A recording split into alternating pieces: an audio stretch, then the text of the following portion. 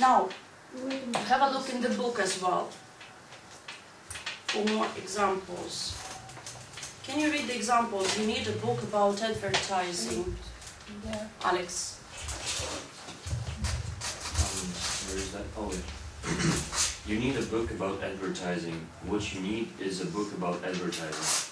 Okay, so you can say both ways, but if you use this cleft sentence, then you emphasize what you need is a book about advertising.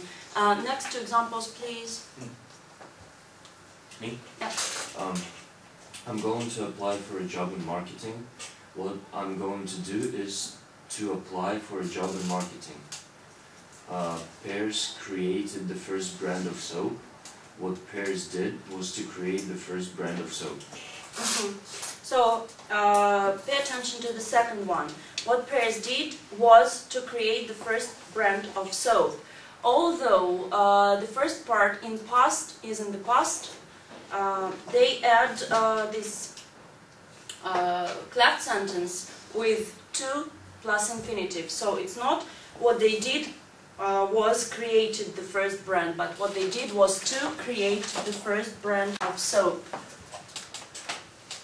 just copy one of the examples uh, from the book. I suggest you copy the second one. I'm going to apply for a job in marketing and then what I'm going to do is to apply for a job in marketing because it shows exactly that the highlighted verb and do match. Can you also say, can you also say, what you need to buy is, uh, are some vegetables for cooking? Vegetables. Yes. What you need to buy are Some vegetables for the cooking. are vegetables for cooking. Mhm. And you, uh, by this, you emphasize that just vegetables you need to buy, not anything else, not meat or Yes. fruit or anything, vegetables. Yep, you can say so. Right, um, are you ready? Not yet. One more minute.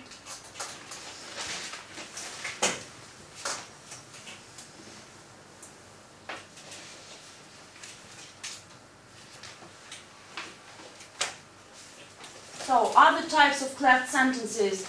Uh, here you see just the examples of how uh, you can use these cleft sentences um, to emphasize different things in your speech as well as um, in writing.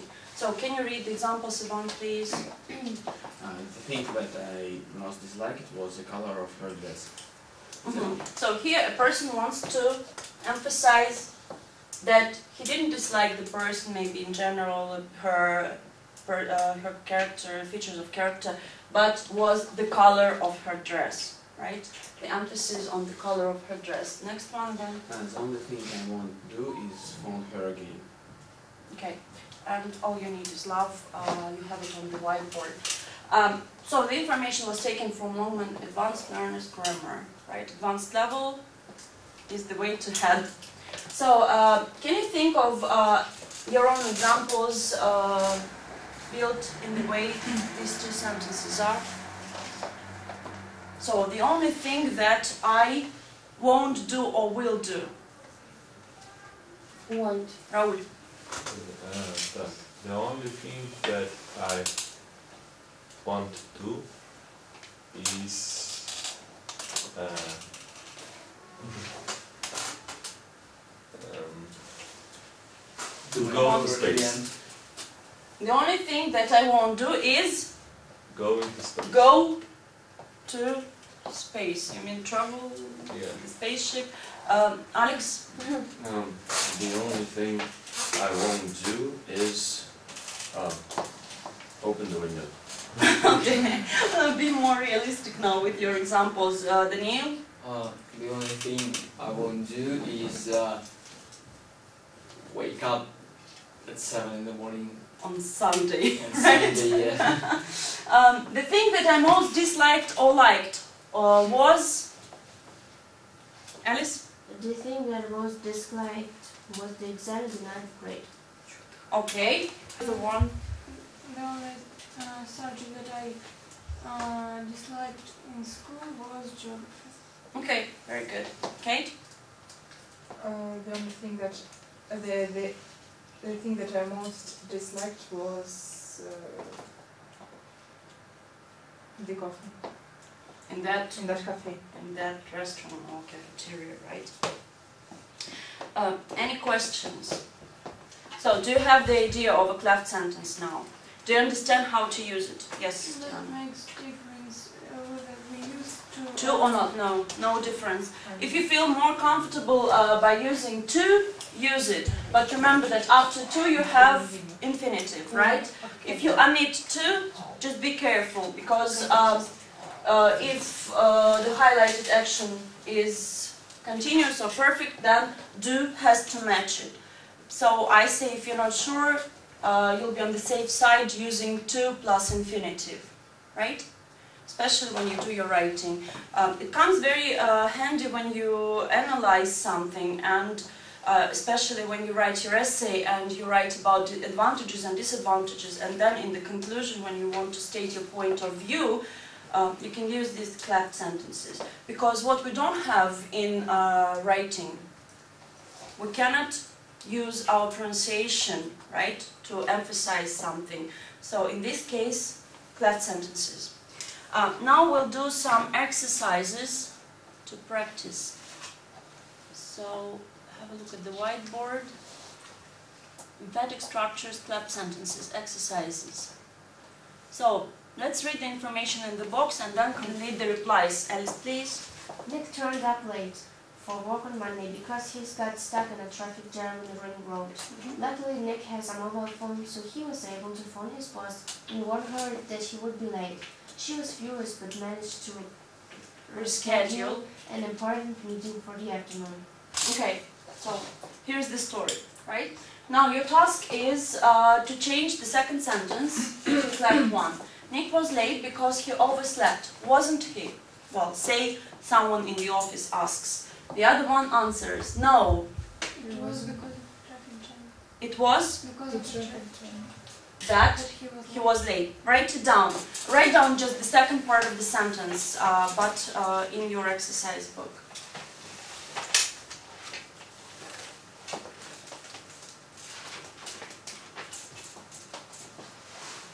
So it was because of the traffic jam that he was late.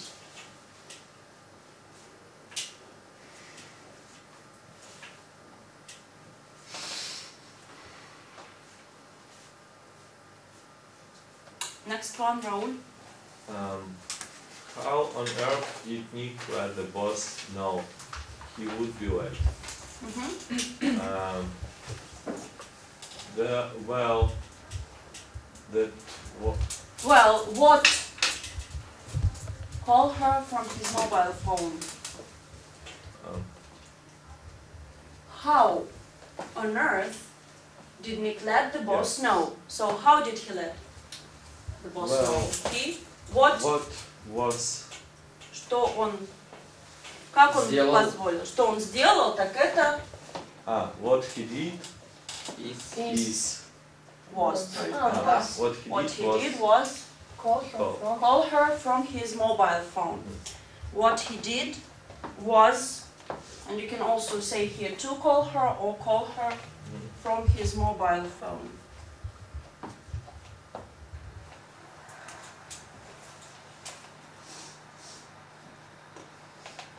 Anna, number three. Uh, wasn't Nick late on Wednesday? No. That he was late. No, the only. No, he. Can you please Yes. show me the story? Uh, the story. Okay. You have. Uh, wasn't Nick late on Wednesday? No. He phoned. He phoned. No, It was Monday. No, it was Monday that That he was he late. was late. No, it was on Monday, только, On да? Monday. On Monday. No, it was on Monday that he was late. Write it down.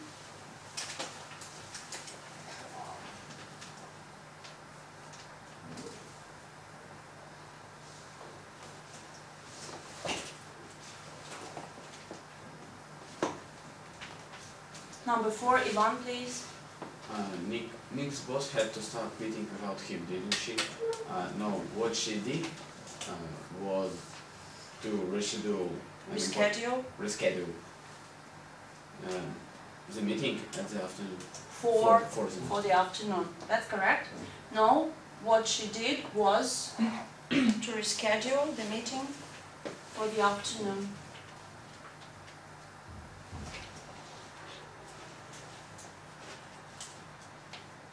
Next one, uh, Daniel, Uh, thank you for the most difficult one. number five. Um, Well, wasn't it you in the morning shouting that you're the best student in the class? yes, um, yes. does not work, prove Uh, yourself. didn't Nick get stuck in a traffic jam in the town center? No, uh, not in the town center. It uh, Oh, it, cheating. it was on the ring road where he got stuck. That Nick Ah, got stuck. That that Nick got stuck. But you can also you say where he got stuck. It's loud. So, uh, no, it was on the ring road that Nick got stuck. Or where Nick got stuck.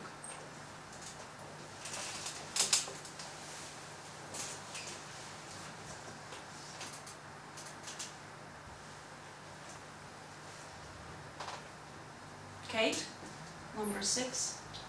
I heard the boss was a little annoyed. Uh, Could you please move it a bit up?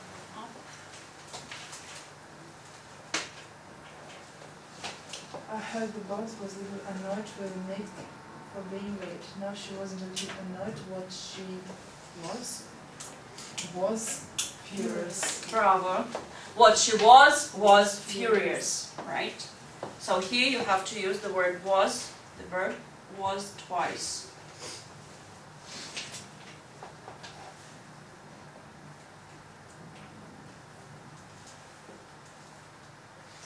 Okay, so we did some practice now. I believe you're able uh, to write sentences, the following six sentences with a mark. Can I go to the top of it? Have you finished Yes. writing, all of you?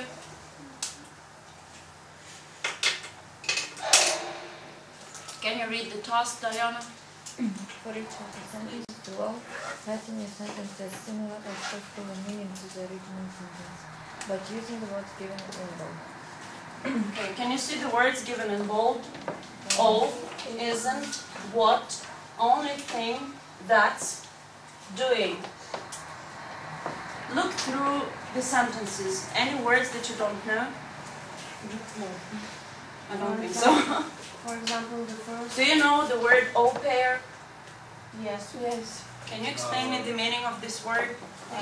I think it's something uh, when you when some students go in another country, they do au pair. So au pair, first of all, refers to a person, Yes, au right? pair. So it's a person who is Since changing the country for working in another country or uh, doing uh, prac- prac- um, practical. So there are two, I don't know. how it's- Purposes. Yes. right? When a person goes to a foreign country. Yes. First one, he looks after the household or after the kids. And the second one, he also attends lessons of English or German, depends which country you go to.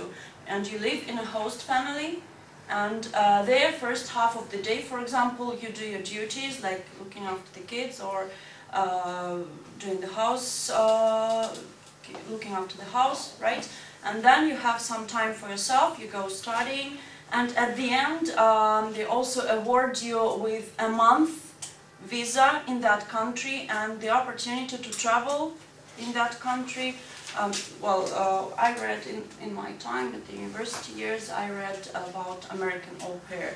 Uh, there you had um, a month visa in America, which is a very uh, good chance to travel to see, and they will also give you a car, and they will uh, give you your allowance, your money, like I don't know, um, it's in the contract sort of, right? And once you uh, fulfill your job, right, to the best, then you will be awarded with this money and this opportunity and a car also to travel.